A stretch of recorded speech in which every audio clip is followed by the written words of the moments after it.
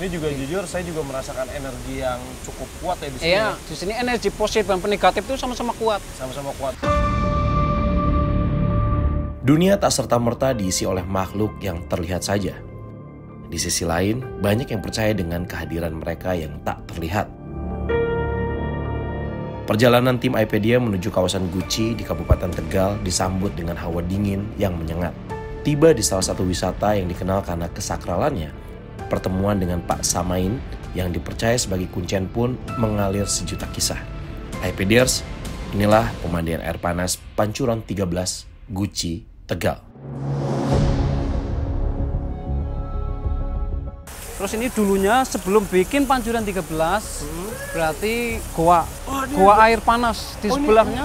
Oh di sebelahnya itu ada Gua gua air panas, iya. Oke. Goa air panas. Terus habis itu ditalut kayak gitu, dibikin Pancuran 13. Kenapa 13 pancuran? Menurut mitos kalau misalkan angka 13 katanya kan itu sakral Ah, kayak gitu. Terus di sini airnya air panas itu kok alami, ah. terus bisa untuk menyembuhkan dari segala macam penyakit. Oke, paling banyak yang datang ke sini ini orang Tegal asli atau luar Tegal? nih? Luar Tegal terus luar kota. Luar Tegal dan luar Iya. kota juga. Ini pengunjung sehari bisa berapa nih Pak? Kalau pengunjung sehari ya bisa nyampe 500 Sehari. sehari. Ini buka Nah, dari jam berapa? buka dari jam 7 Pagi. pagi, tutup kadang jam 9 malam. Oh jam 9 malam juga nggak Iya, apa-apa. nggak Biasa kan apa-apa. ada nih tempat-tempat yang alam kayak gini kayak udah mau maghrib harus tutup gitu. Tapi ini nyampe jam 9 malam masih terbuka. Masih buka, makanya yang, yang jaga juga banyak ketat, penjagaan juga ketat. Oh penjagaan ketat gitu. Menurut mitos, sebelum dinamakan Guci, nama kawasan ini adalah Desa Keputihan. Suatu hari tersebar wabah yang menyerang warga desa. Di momen tersebut, hadirlah Sunan Gunung Jati membawa guci berisi air panas yang mampu menyembuhkan seluruh warga. Sejak saat itu, nama Desa Keputihan pun berubah menjadi Desa Guci.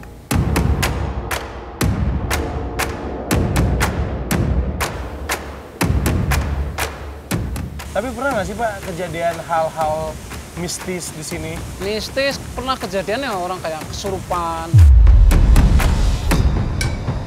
Mungkin di sini kan misalkan orang mandi kalau lagi haid itu memang nggak boleh karena ini airnya air sakral, air panas sakral kan gitu. Air panas sakral. Iya. Dan ini langsung dari eh, gunung. Dari gunung, sumbernya memang dari langsung dari gunung selama. dari gunung ya. Oke. Ini juga jujur, saya juga merasakan energi yang cukup kuat ya di sini. Iya, ya. di sini energi positif dan negatif itu sama-sama kuat. Sama-sama kuat. Makanya ini agak bentrok nih.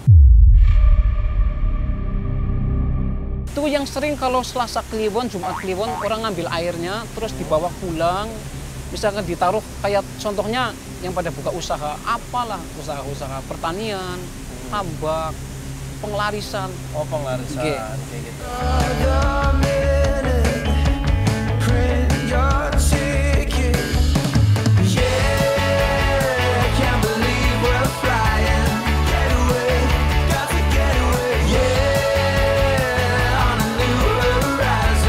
Oke, iPedios tadi saya udah mencoba untuk eh, mandi ya ibaratnya Iya. di Pancuran 13 ini dan ternyata memang langsung berasa banget ke badan Iya. badan langsung relax terus juga langsung seger banget Iya. terus kan saya juga ada cedera di sini nih Iya. apa lutut ke mana habis eh, bengkak terus kayak kayak lebih enteng gitu sekarang gitu Iya. Peredaran darah itu lancar. peredaran darah juga Iya. lancar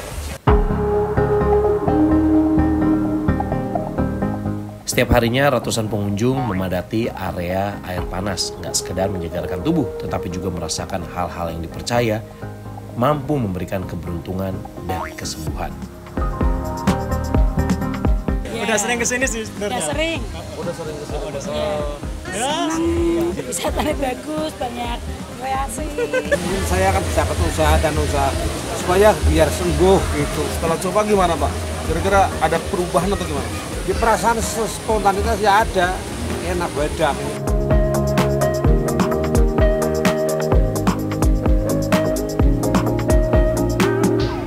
cobain dulu kuahnya ya. Wah kacau. Nggak ada yang miss di sini. Enak semua rasanya. Cobain ayam kampungnya. Uh lembut banget